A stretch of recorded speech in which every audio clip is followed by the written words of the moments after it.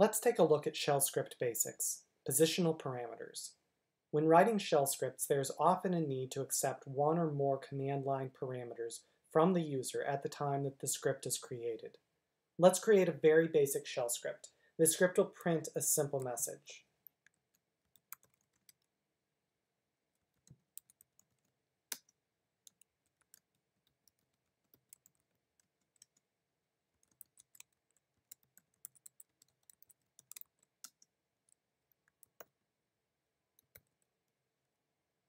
In order to run a new script, we have to modify the permission settings for the script file to enable the script to be executed.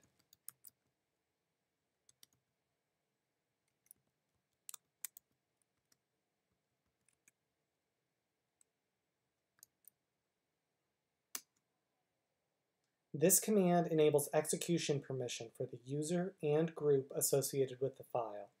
Next, let's try running the script.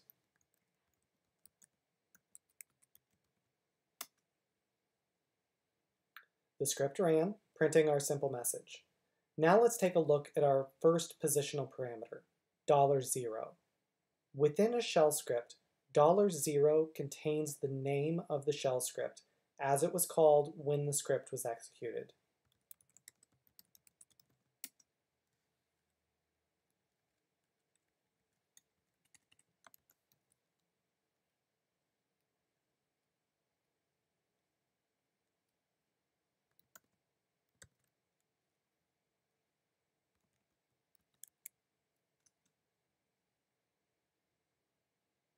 We see that our script successfully obtained and printed the name of the script.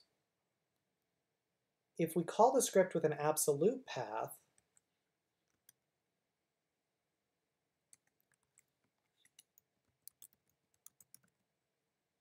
dollar zero will contain the value of that absolute path.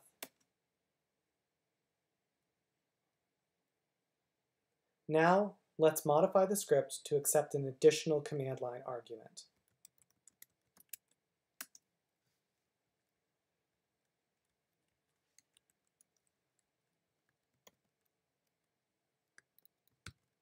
After making this modification, our script will now accept an additional command line argument. Note that bash processed the provided command line argument and made it available to our script as a variable. We didn't have to declare the variable, bash does that for us. Let's take a look at that script again. The value of the command line argument can be accessed using the $1 variable. Shell scripts can accept more than one argument.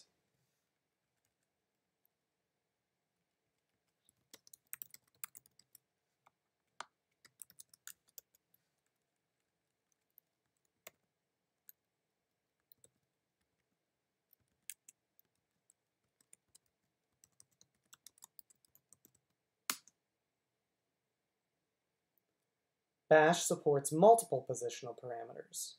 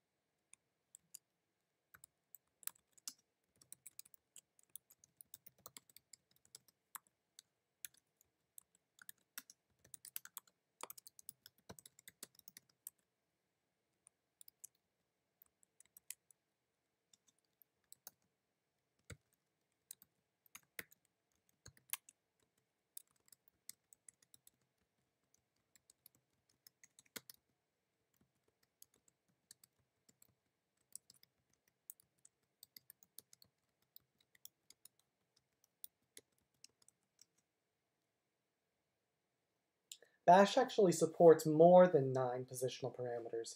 However, to access them, you will need to use the curly brace syntax for accessing bash variables.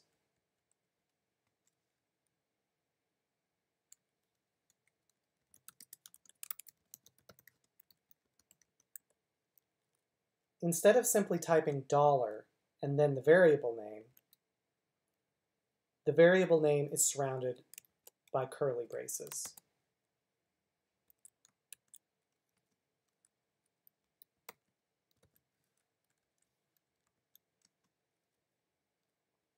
We can also ask Bash how many positional parameters were supplied by the user.